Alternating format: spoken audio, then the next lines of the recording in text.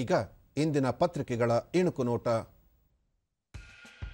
ಜಾಗತಿಕ ಮಾರುಕಟ್ಟೆಗೆ ಭಾರತ ಲಗ್ಗೆ, ಮೇಕ್ ಇನ್ ಇಂಡಿಯಾ ಎಫೆಕ್ಟ್, ಎಕ್ಸ್ನಲ್ಲಿ ಪ್ರಧಾನಿ ನರೇಂದ್ರ ಮೋದಿ ಸರಣಿ ಪೋಸ್ಟ್.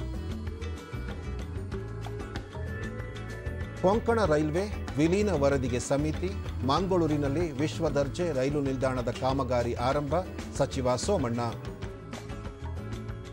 ಖಾಸಗಿ ಮೀಸಲು ಸಂಘರ್ಷ, ಉದ್ಯಮದಿಂದ ತೀವ್ರ ಆಕ್ಷೇಪ ಮಂಡನೆಗೆ ಸಿದ್ಧವಾಗಿದ್ದ ಮಸೂದೆಗೆ ತಡೆ. ದಕ್ಷಿಣ ಭಾರತದ ಮೊದಲ ಡಬಲ್ ಡೆಕ್ಕರ್ ರಸ್ತೆಗೆ ಚಾಲನೆ, ರಾಗಿಗುಡ್ಡ ಮೆಟ್ರೋ ನಿಲ್ದಾಣದಿಂದ ಸೆಂಟ್ರಲ್ ಸಿಲ್ಕ್ ಬೋರ್ಡ್ವರೆಗಿನ ಎಲಿವೇಟೆಡ್ ರೋಡ್ ಕಮ್ ಫ್ಲೈಓವರ್ನ ಒಂದು ಭಾಗ ಸಂಚಾರ ಮುಕ್ತ. ಏಷ್ಯಾ ಕಪ್ ಶ್ರೀಲಂಕಾ ತಲುಪಿದ ವನಿತೆಯರು.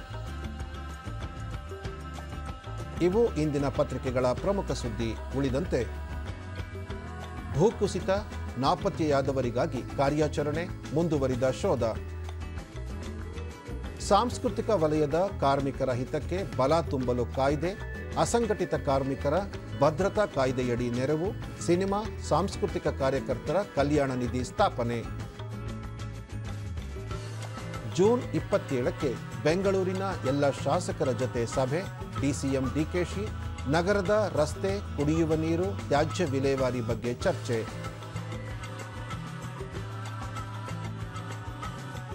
ಕರಾವಳಿ, ಮಲೆನಾಡಲ್ಲಿ ನಿಲ್ಲದ ಮಳೆ, ಪ್ರವಾಹ, ಕರಾವಳಿ, ಮಲೆನಾಡು, ಕೊಡಗಿಗೆ ಎರಡು ದಿನ ರೆಡ್ ಅಲರ್ಟ್. ಕೊಡಗಿನ ತ್ರಿವೇಣಿ ಸಂಗಮ, ಜಲಾವೃತ, ಹಲವೆಡೆ ಶಾಲೆಗೆ ರಜೆ. ಒಲಿಂಪಿಕ್ಸ್ನಲ್ಲಿ ನೂರ ಹದಿನೇಳು ಭಾರತೀಯರ ಸ್ಪರ್ಧೆ ಪ್ಯಾರಿಸ್ ಗೇಮ್ಸ್ನಲ್ಲಿ ಪಾಲ್ಗೊಳ್ಳಲಿರುವ ಅಥ್ಲೀಟ್ಗಳ ಪಟ್ಟಿ ಬಿಡುಗಡೆ ಮಾಡಿದ ಭಾರತ ಒಲಿಂಪಿಕ್ ಸಂಸ್ಥೆ.